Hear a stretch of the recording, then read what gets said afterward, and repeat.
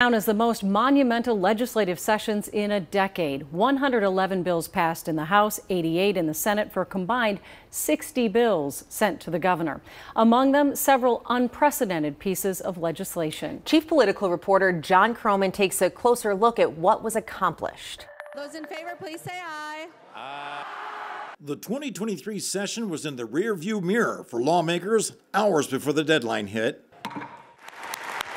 On the House floor, hugs and youthful exuberance from freshmen. They call us the trifecta 23 lucky charm. The list of bills, too numerous to mention in one story, changes long sought by Democrats. And the difference this year was we had a DFL led Senate. House Speaker Melissa Hortman asserts her party gave Minnesotans what they want. Protecting reproductive freedom, super popular. Paid family medical leave, super popular.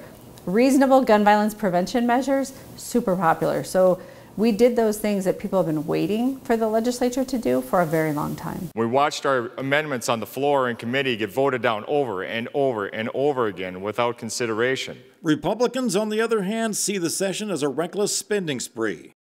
Well, there's, there's two different ways. Let's say we go into a recession. What, what do we have to do? We either have to raise taxes to support government or we have to start cutting some of the services. We've created an expectation now the government's going to take care of everybody in every situation. It doesn't matter if you're a millionaire or, or if you're lower income. And so we're going to have some real fiscal problems going forward after this session. Democrats are leaving the Capitol with the message that they've done things this session that will transform lives for generations to come. Republicans say they're leaving with plenty of ammunition for the 2024 election to say that we're on the wrong track. In St. Paul, John Croman, KARE 11 News.